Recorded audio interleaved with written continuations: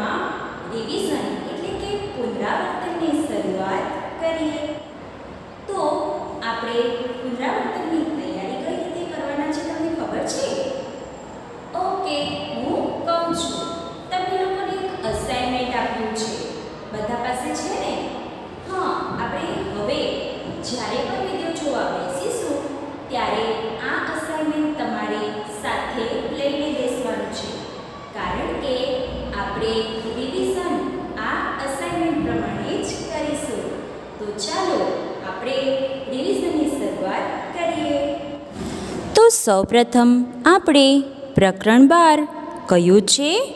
હા, જો આ ખૂટી જાય તો.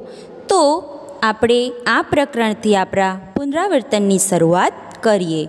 તો ચાલો આપણે પુનરાવર્તન જોઈએ. પ્રશ્ન એક, એમસીક્યુ. હવે એમસીક્યુ વિશે તો તમને ખ્યાલ જ હશે. ખ્યાલ છે ને?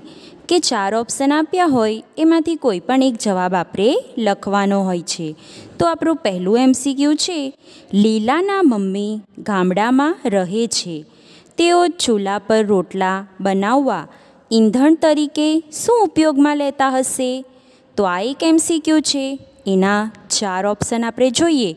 એ કેરોસીન, બી લાકડા, સી સીએનજી અને ડી ડીઝલ. હવે તમે વિચારો કે તમારા ઘરમાં પણ જો મમ્મી ચૂલા પર કંઈક બનાવવા માંગે, તો તેમાં ઈંધણ તરીકે શું વાપરશે? કેરોસીન વાપરશે, લાકડા વાપરશે, સીએનજી વાપરશે કે ડીઝલ વાપરશે? મારા ખ્યાલથી તો લાકડા વાપરશે. તમે જોજો કે તમારા મમ્મી ઈંધણ તરીકે શું વાપરે છે. બીજો એમસીક્યુ છે, મેઘનાબેન ખીચડી રાંધવા માટે એક સાધનને સૂર્યના તડકામાં મૂકે છે. આ સાધનને શું કહેવાય? તો તેના ઓપ્શન છે એ સગડી બી ચૂલો સી સૂર્ય કુકર અને ડી પ્રેશર કુકર. તો આ ચારમાંથી કયો ઓપ્શન આવશે એ તમે વિચારજો. ત્યાર પછી ત્રીજો એમસીક્યુ કંઈક આ રીતે છે. ચાર રસ્તા પર કઈ સિગ્નલ લાઇટ થતાં વાહનો થોભી જાય છે? તમે રસ્તા પર ગાડી પર જાઓ છો ને? હં, તો તમે ક્યારેક લાલ લાઇટ પીળી લાઇટ લીલી લાઇટ જોઈ છે ને? તો વિચારો કે એવી કઈ લાઇટ થાય છે? ત્યારે વાહનો થોભી જાય છે. તો આ પણ તમે વિચારજો. ચાલો, આપણે તેના ઓપ્શન જોઈએ. એ લીલી, બી વાદળી, સી પીળી અને ડી લાલ. તો એમસીક્યુ તો અહીં પૂર્ણ થયા. હવે આપણો બીજો પ્રશ્ન છે, યોગ્ય શબ્દ વડે નીચેના દરેક વિધાનમાં ખાલી જગ્યા પૂરો. એટલે કે હવે આપણે ખાલી જગ્યા જોઈએ. તો પહેલી ખાલી જગ્યા છે, આગગાડીમાં ઈંધણ તરીકે ખાલી જગ્યા વપરાય છે. તો વિચારો કે આગગાડી હોય તો એમાં શું વપરાય છે? ઈંધણ તરીકે? હા, કોલસો વપરાય છે ને? હા બીજી ખાલી જગ્યા ગાય ભેંસના છાણમાંથી બનતા. ખાલી જગ્યા બળતણ તરીકે ઉપયોગમાં લેવામાં આવે છે. તો વિચારો કે ગાય ભેંસના છાણમાંથી શું બને? હા, છાણા બને છે ને? હા, તો તેનો આપણે બળતણ તરીકે ઉપયોગ કરીએ છીએ. ત્યાર પછી ત્રીજી ખાલી જગ્યા છે વર્તમાન સમયમાં ઘરોમાં રસોઈ બનાવવા, ઈંધણ તરીકે ખાલી જગ્યાનો ઉપયોગ થાય છે. તો તમારા ઘરમાં અત્યારે ઈંધણ તરીકે શું વપરાય છે? મમ્મી રસોડામાં હોય છે, ત્યારે શું ચાલુ કરે છે? ગેસ ચાલુ કરે છે. તો એ ગેસ ક્યાંથી આવે છે અને તેને શું કહેવાય છે? એ પણ તમે વિચારજો. ત્યાર પછી ચોથી ખાલી જગ્યા છે. પહેલાંના સમયમાં પ્રકાશ મેળવવા ખાલી જગ્યા સાધનનો ઉપયોગ થતો હતો. તો વિચારો, હવે આપણે અત્યારે તો એ સાધન આપણે મોટે ભાગે જોઈ શકતા નથી, પણ આપણને પિક્ચરમાં જોવા મળે છે. તો એવું કયું સાધન છે કે જેમાંથી પહેલાંના સમયમાં પ્રકાશ મેળવવામાં આવતો હતો? ત્યાર પછી પાંચમું ખાલી જગ્યા કંઈક આવી છે. ખાલી જગ્યા વાહન, ઈંધણ વગર ચાલે છે. હવે આ વાહન તો મને ખબર છે કે તમારા બધા પાસે છે. છે ને? હા, બે પૈંડાનું છે ટ્રીન ટ્રીન અવાજ કરે છે. આ સિવાય બીજા પણ ઘણા વાહનો હોય છે કે જે ઈંધણ વગર ચાલે છે. તો આમાં તમને જે વિચાર આવે તે તમે લખજો. હવે આપણે એક બે વાક્યોમાં જવાબ જોઈએ. તો ચાલો, પ્રશ્ન એક જોઈએ. તો પ્રશ્ન એક છે, કયા વાહનો પેટ્રોલ અને ડીઝલ વગર ચાલે છે? તો વિચારો કે એવા કયા વાહનો છે કે જેમાં આપણે પેટ્રોલની પણ જરૂર નથી પડતી અને ડીઝલની પણ જરૂર નથી પડતી? આ બંને ઈંધણના ઉપયોગ વગર પણ આપણે એક જગ્યાએથી બીજી જગ્યાએ જઈ શકીએ છીએ. જેમ કે બળદગાડું. હા, તો એવા બીજા કયા વાહનો છે તે તમારે લખવાના છે. ત્યાર પછી આપણો પ્રશ્ન છે, તમે સાયકલ ચલાવો છો? જો હા તો તેના પર ક્યાં જાઓ છો? તો આ તો તમારે લખવો પડશે કે જો તમે સાયકલ ચલાવતા હોય, તો સાયકલ પર બેસીને તમે ક્યાં જાઓ છો? તો આ પણ તમે લખજો. ત્યાર પછી આપણો ત્રીજો પ્રશ્ન છે, તમે સારાએ કેવી રીતે જાઓ છો? એટલે કે તમે સારાએ આવો છો તો શેના પર આવો છો? ચાલતા આવો છો? બસમાં આવો છો? સાયકલ પર આવો છો, તો જે રીતે તમે સારાએ આવતા હોય એ તમારે લખવાનું. ત્યાર પછી ચોથો પ્રશ્ન છે, તમારા કુટુંબના સભ્યો ઘરેથી કામે અથવા નોકરીએ કેવી રીતે જાય છે? હવે તમારા ઘરમાં તમારા પપ્પા હશે, કાકા હશે, દાદા હશે, તો કોઈકને કોઈક કામ કે નોકરી કરતા હશે, તો એ જગ્યાએ તેઓ શેના પર જાય છે? તો એના વિશે તમારે લખવાનું છે. ત્યાર પછી પ્રશ્ન છે, પેટ્રોલ અને ડીઝલનો ભાવ કેમ વધે છે? વિચારો કે પેટ્રોલ અને ડીઝલનો ભાવ કેમ વધે છે? કારણ કે વાહનોની સંખ્યા વધે છે અને તેને કારણે પેટ્રોલ અને ડીઝલ વધારે વપરાય છે. તેથી તેનો ભાવ પણ વધે છે. ત્યાર પછી છઠ્ઠો પ્રશ્ન કંઈક આવો છે કે પહેલાંના સમયમાં લોકો છાણા લાકડા અને સૂકા દારખાનો સો ઉપયોગ કરતા હતા. તો વિચારો કે પહેલાંના સમયમાં એટલે કે આપણા દાદા દાદી હતા ને, તેઓ આ છાણા, લાકડા અને સૂકા દારખાનો ઉપયોગ શું કરતા હતા? તો હું એક ઉદાહરણ આપું. તો બળતણ તરીકે તેનો ઉપયોગ થતો હતો. ત્યાર પછી લાકડાનો ઉપયોગ જોઈએ તો ઘર બનાવતા હતા. સૂકા દારખાનો ઉપયોગ જોઈએ તો બળતણ તરીકે તાપણું કરવા માટે પણ થતો હતો. તો આ રીતે તમારે પ્રશ્નોના જવાબ લખવાના છે. ત્યાર પછી આપણો આગળનો પ્રશ્ન ચાર છે. નીચેના પ્રશ્નોના પાંચ, છ વાક્યોમાં જવાબ લખો. હવે આ પ્રશ્નમાં ખાસ સૂચના આપું છું. આ પ્રશ્નમાં તમારે ઓછામાં ઓછી પાંચ કે છ લીટી તો ફરજિયાત લખવાની છે. કારણ કે ઘણીવાર મને જોવા મળે છે કે ઘણા બાળકો એક કે બે લીટી લખીને છોડી દે છે. તો એના તમને માર્ક મળશે નહીં. એટલે આ વસ્તુનું ધ્યાન રાખજો. ચાલો આપણે પ્રશ્નોની વાત કરી લઈએ. તો પહેલો પ્રશ્ન કંઈક આવો છે. વાહનોના હોર્નના ઘોંઘાટથી આપણે કેવી મુશ્કેલીઓ અનુભવીએ છીએ? તો વિચારો કે આપણું ઘર છે અને ઘરને નજીક જ રસ્તો હોય, તો રસ્તા પર ઘણા બધા વાહનોની અવર જવર થતી હોય છે અને હોર્ન વગાડતા વગાડતા જતા હોય છે. તો ત્યારે કેવી મુશ્કેલીઓ થાય છે? જેમ કે આપણે ભણતા હોઈએ અને અચાનક આવી રીતે હોર્નનો અવાજ આવે, તો આપણને ડિસ્ટર્બ થશે. ત્યાર પછી આપણા કાનમાં જોરથી એ અવાજ જશે તો આપણા કાનને પણ નુકસાન થશે. તો આ રીતે બીજી કઈ મુશ્કેલીઓ નરે છે એ પણ તમારે લખવાનું છે. ત્યાર પછી બીજો પ્રશ્ન છે, જો તમારા ગામ કે નગરમાં એક અઠવાડિયા સુધી પેટ્રોલ કે ડીઝલ ના મળે તો શું થાય? હવે પેટ્રોલ અને ડીઝલ વગર તો આપણું કામ ચાલે જ નહીં. નહીં ચાલે ને? કારણ કે પેટ્રોલ અને ડીઝલ ગાડીમાં નાખવામાં આવે છે. અને જો ગાડીમાં નાખવામાં તે પેટ્રોલ અને ડીઝલ જ ન હશે, તો આપણે ગાડી કઈ રીતે ચલાવી શકીશું? અને એક જગ્યાએથી બીજી જગ્યાએ કઈ રીતે જઈ શકીશું? તો અહીં આ વિચાર પણ કરી જોજો. અને વિચારજો કે એક અઠવાડિયા સુધી જો પેટ્રોલ કે ડીઝલ ન મળે, તો આપણી શું હાલત થાય? કઈ કઈ મુશ્કેલીઓ આપણને નરે? તો આ પણ તમે વિચારજો. ત્યાર પછી આપણો પ્રશ્ન છે ઈંધણ બચાવવાના થોડા ઉપાયો જણાવો. ઈંધણ એટલે આપણે જે બળતણમાં જે વસ્તુનો ઉપયોગ કરતા હોઈએ તેને ઈંધણ કહેવાય. તો એને બચાવવા માટે આપણે કયા કયા ઉપાયો કરી શકીએ? હા, આપણે ઈંધણની વાત કરીએ ને, તો આપણે મોટે ભાગે ઈંધણ, પેટ્રોલ અને ડીઝલનો વધારે ઉપયોગ થાય છે. તો આપણે એવા ઉપાયો કરી શકીએ છીએ કે આપણે ખપ પૂરતું ઈંધણનો ઉપયોગ કરવો. જ્યાં જરૂર ન હોય, ત્યાં આપણે ગાડી લઈને ન જવું જોઈએ. ત્યાર પછી જે એસટી બસો હોય છે, તેનો ઉપયોગ આપણે વધારે કરવો જોઈએ.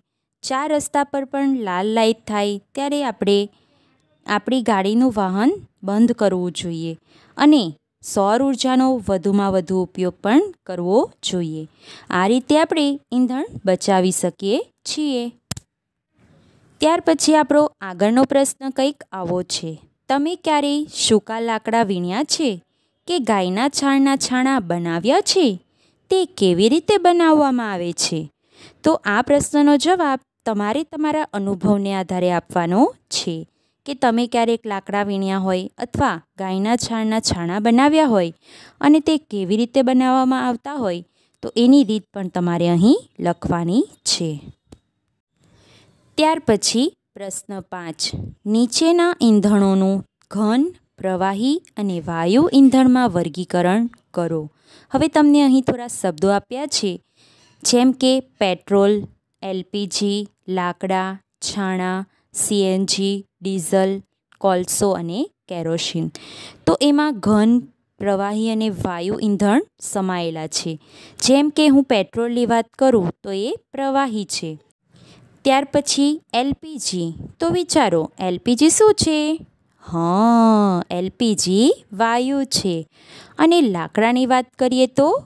હા, લાકડા ઘન પદાર્થ છે. તો આ રીતે તમારે બીજા શબ્દોનું પણ વર્ગીકરણ કરવાનું છે. ત્યાર પછી પ્રશ્ન છ માંગ્યા મુજબ કરો. અહીં તમને જે પ્રશ્ન પૂછવામાં આવ્યો હોય એ રીતે તમારે લખવાનું છે. જેમ કે પહેલું છે ઈંધણ બચાવવાનો સંદેશ આપતા પોસ્ટર બનાવો. તો અહીં ઈંધણ બચાવવાનો જે સંદેશ આપતું હોય એવું તમારે પોસ્ટર તૈયાર કરવાનું છે. ત્યાર પછી બીજો પ્રશ્ન જુઓ. નીચે આપેલી ટ્રાફિકની નિશાનીઓનું અવલોકન કરો અને આ નિશાની શું સૂચવે છે તે લખો. આ આપણે પ્રકરણ બારમાં જોઈ ગયા હતા. તો જુઓ, અહીં ઘણી બધી નિશાનીઓ આપી છે. તો એ નિશાની શું સૂચવે છે? જેમ કે, પહેલું છે, તો એ આપણને એમ સૂચવે છે કે જમણી તરફ વળવું. ત્યાર પછી બીજું ચિહ્ન સૂચવે છે કે આગળ દવાખાનું છે. તો આ રીતે તમારે આ ચિહ્નોની ઓળખ કરાવવાની છે. ત્યાર પછી છેલ્લો પ્રશ્ન છે નીચે આપેલ ચિત્રને જુઓ અને અવલોકન કરી વૈચારિક પ્રશ્નો બનાવીને લખો. તો અહીં તમે એક ચિત્ર જોઈ રહ્યા છો. આ ચિત્રનું અવલોકન કરો અને વૈચારિક પ્રશ્ન એટલે કે વિચાર કરવો પડે તેવા પ્રશ્નો તમારે અહીં કાઢવાના છે. જેમ કે હું ઉદાહરણ આપું કે ત્રણ પૈંડાવાળું વાહન કયું છે? હા, તો આ રીતે તમારે પ્રશ્નો કાઢવાના છે. તેનો જવાબ તમારે લખવાનો નથી. હવે આપણે પ્રકરણ તેર, પહાડી રહેઠાણ વિશે વાત કરીએ. તો પ્રશ્ન એક છે એમસીક્યુ ચાલો આપણે પહેલો એમસીક્યુ જોઈએ. એક, તાસીના ઘરના છાપરા પર સોનેરી પીરું કયું અનાજ સૂકવેલું હતું? તો હવે આપણે તેના ઓપ્શન જોઈએ. એ બાજરી, બી ઘઉં, સી મકાઈ, ડી બંટી. હવે તમે જ વિચારો કે આ ચારમાંથી કયું અનાજ પીળા રંગનું હોય છે? હા, મકાઈ. બરાબર ને? મકાઈ પીળા રંગની હોય છે ને? ઓકે. ત્યાર પછી બીજો એમસીક્યુ છે, ચાંગપા જાતિના લોકો કયા પ્રાણીઓ પાળે છે? વિચારો. ચાલો આપણે તેના ઓપ્શન જોઈએ. એ ભેંસ ગાય, બી ઊંટ ઘોડા, સી બળદ ગાય અને દી ઘેંતા બકડા. તો આ તમે વિચારજો કે ચાંગપા જાતિના લોકો કયા પ્રાણીઓ પાળે છે. ત્યાર પછી ત્રીજો એમસીક્યુ છે, શ્રીનગરમાં આવતા પ્રવાસીઓ શામાં રહેવાનું વધુ પસંદ કરે છે. એ લેખામાં, બી રેબોમાં સી, હાઉસબોટમાં અને દી તંબુમાં. તો તમે શું વિચારો છો? શ્રીનગરમાં જે પ્રવાસીઓ જાય છે, તેઓ શેમાં રહેવાનું વધારે પસંદ કરતા હશે? હા, સી, હાઉસબોટમાં. ત્યાર પછી આપણો બીજો પ્રશ્ન છે, ખાલી જગ્યા પૂરો. પહેલી ખાલી જગ્યા, તાસીનું ઘર અંદરથી ખાલી જગ્યા જેવું લાગતું હતું. કારણ કે તાસીના ઘરમાં ઘાસ હતું અને છાણથી લીપેલું હતું, તો તાસીનું ઘર અંદરથી કેવું લાગતું હતું? હા, તબેલા જેવું લાગતું હતું ને? હા, બીજી ખાલી જગ્યા, ચાંગપા જાતિના લોકો, બકરીના સુવાણા ઊનમાંથી ખાલી જગ્યા નામની મુલાયમ અને કિંમતી સાલ બનાવે છે. આ શબ્દ પણ તમને ખ્યાલ હશે જ. તમે થોડો વિચાર કરજો. ત્રીજી ખાલી જગ્યા. મનાલી એક ખાલી જગ્યા વિસ્તાર છે. તો વિચારો કે મનાલી કેવો વિસ્તાર છે? એક તો ઠંડો વિસ્તાર છે. ત્યાર પછી ત્યાં શું આવેલું છે? હા, મોટા મોટા પર્વતો આવેલા છે ને? હા, તો આનો જવાબ પણ તમે વિચારજો. ત્યાર પછી છે પ્રશ્ન ત્રણ. નીચેના પ્રશ્નોના ઉત્તર એક બે વાક્યોમાં લખો. તો પહેલો સવાલ છે, તમારું ઘર બનાવવા કઈ વસ્તુઓનો ઉપયોગ કરવામાં આવ્યો છે?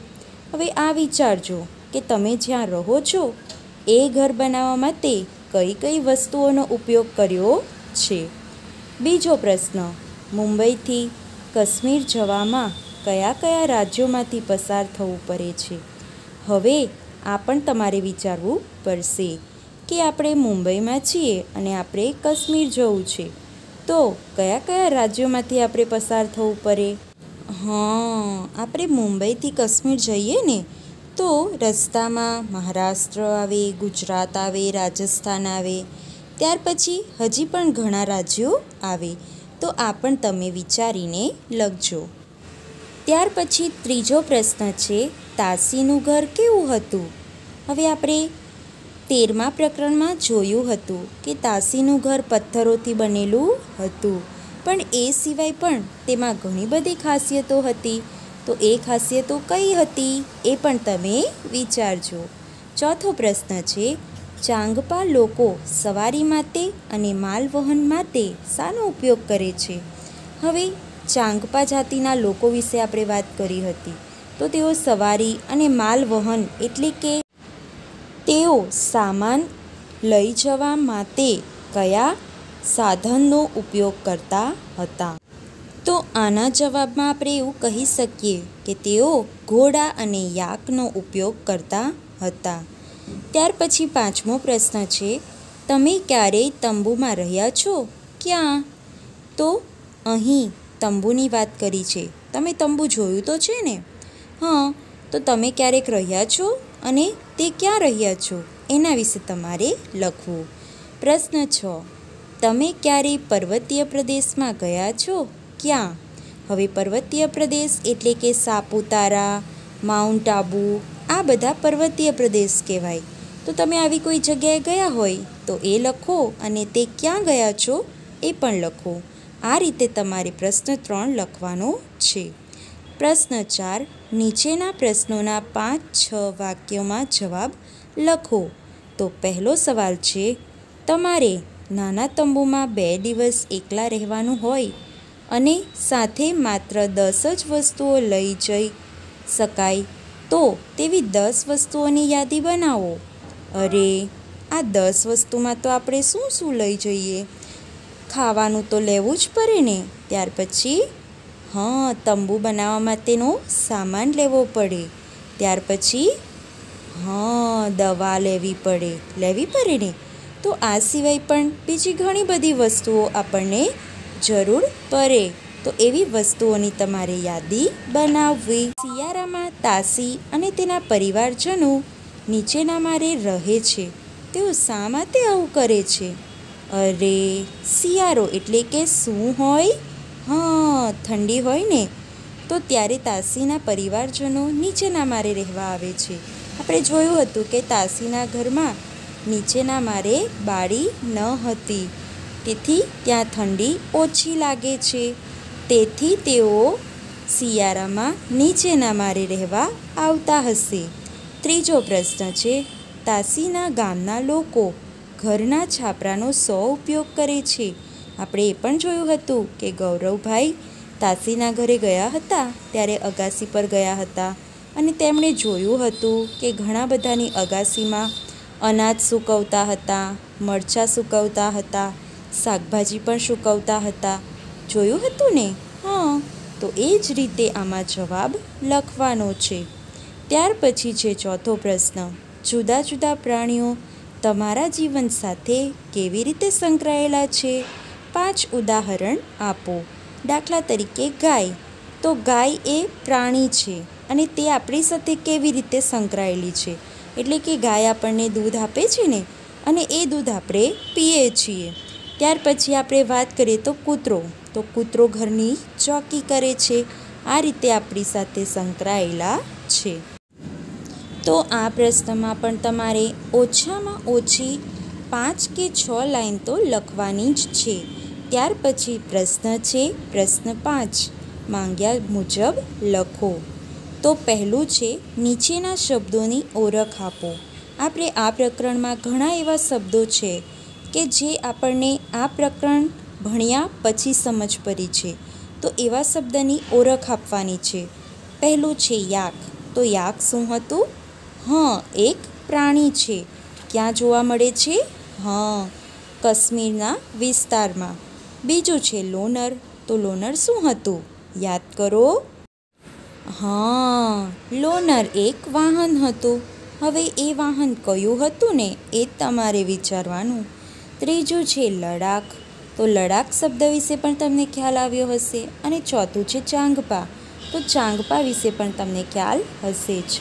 ત્યાર પછી બીજું છે નીચે આપેલ વિષયનું ચિત્ર દોરો. તો અહીં તમને બે શબ્દ આપ્યા છે. એક તંબુ અને બીજું તમારા સપનાનું ઘર.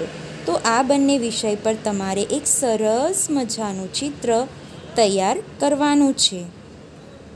તો વિદ્યાર્થી મિત્રો, અહીં આપણા બે પ્રકરણનું રિવિઝન પૂર્ણ થાય છે. હવે પછી આપણે ફરી મળીશું નવા પ્રકરણ સાથે. બાય.